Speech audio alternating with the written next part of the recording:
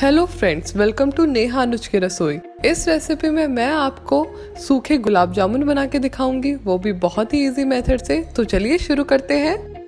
सूखा गुलाब जामुन बनाने के लिए सबसे पहले हम चाशनी बनाएँगे, जिसके लिए डेढ़ कप चीनी डालें, डेढ़ कप पानी, थोड़ा सा केसर, फिर इसे मिलाएँ और चीनी को पूरी तरह मेल्ट होने दें। फ्लेम को हाई पे रखें। देखिए, चीनी मेल्ट हो गया है। इसे हम पाँच मिनट के लिए बॉईल करेंगे। पाँच मिनट हो गया है। आधा नींबू का रस डालें।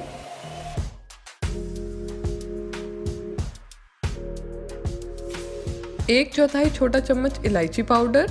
इसे मिला दें। फ्लेम को ऑफ़ कर दें। शुगर सिरप रेडी है। इसे हम ढक के साइड में रख देंगे।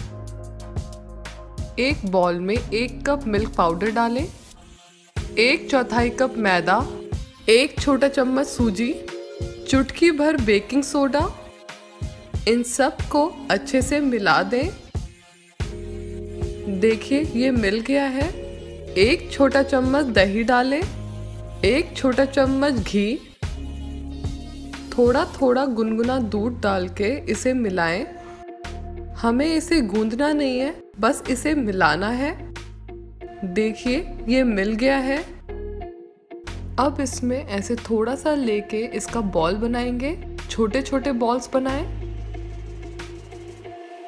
बॉल्स में बिल्कुल भी क्रैक नहीं आना चाहिए। देखिए, इसमें बिल्कुल भी क्रैक नहीं है। गरम ऑयल में बॉल्स को डालें। बॉल्स को डालते वक्त फ्लेम को हाई पे रखें। अब लो फ्लेम पे इसे पकाएँ। देखिए, ये एकदम डार्क ब्राउन हो गए हैं। अब इसे निकाल लेंगे। इसे लो फ्लेम पे ही पकाना है। बॉल्स रेडी है। इसको गरम गरम सुगर सिरप में डाल दें। चाशनी को बॉल्स के ऊपर डाल दें। सारे बॉल्स के ऊपर चाशनी अच्छे से डाल दिया है। अब इसे ढक के दो घंटे के लिए छोड़ दें। दो घंटे बाद ढक्कन को हटाएँ। देखिए बॉल्स का साइज़ बड़ा हो गया है। अब इसे निकाल लेंगे। इसे पहले एक प्लेट में निकाल लें। गुलाब जामुन को ऐसे चीनी के बुरादे में रोल करें। बस, हमारा सूखा गुलाब जामुन तैयार है। देखा इसे बनाना कितना आसान है। आप सब भी इस दिवाली पे अपने घर में इस सूखे गुलाब जामुन की रेसिपी को ज़रूर ट्राई करें। आपको बहुत पसंद आएगा।